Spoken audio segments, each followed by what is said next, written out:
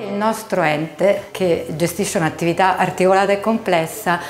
è articolato in servizi, in ambiti, ovviamente per consentire lo svolgimento delle attività sono, le attività sono divise in vari settori, ma lo sforzo che è stato fatto con le ultime riorganizzazioni è che i settori, i servizi parlino tra di loro affinché poi il risultato finale sia un risultato a favore dell'iscritto che si deve confrontare con la cassa e non con più uffici. Qualche criticità nei rapporti con gli iscritti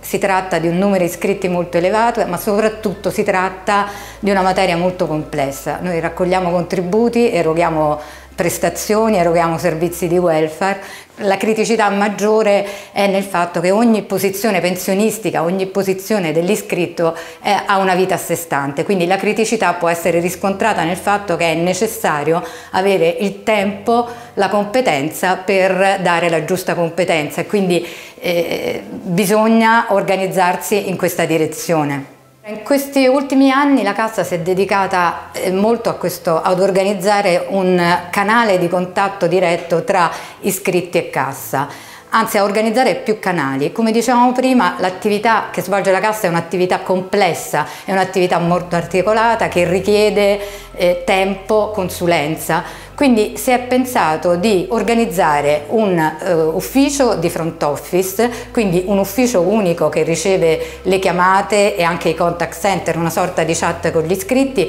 e gestisce questi rapporti, quindi abbiamo un ufficio di front office e accanto a questo l'ufficio ovviamente si appoggia poi agli uffici interni di back office e quindi dà tutte le informazioni necessarie in tempi brevi o in tempi più lunghi a seconda della consulenza che è necessaria, ma accanto a questi canali, quindi a questo contatto diretto col front office, è stato pensato anche di sviluppare dei servizi sull'area riservata del sito. Infatti è possibile sull'area riservata prenotare eh, richiamate telefoniche, cioè se si vuole contattare la cassa essere ricontattati in fascia orarie si può prenotare la chiamata sia dell'ufficio del front office o anche dei dirigenti, anche eventualmente del direttore proprio per avere la certezza di essere richiamati e per avere un contatto. E si può prenotare anche la possibilità di un appuntamento a Roma in modo tale poi oltretutto che quando si arriva a Roma o quando si è richiamati la persona che richiama il geometra si è anche preventivamente informata e quindi il contatto con il geometra è più efficiente perché arriva un colloquio, si arriva a un colloquio in modo preparati.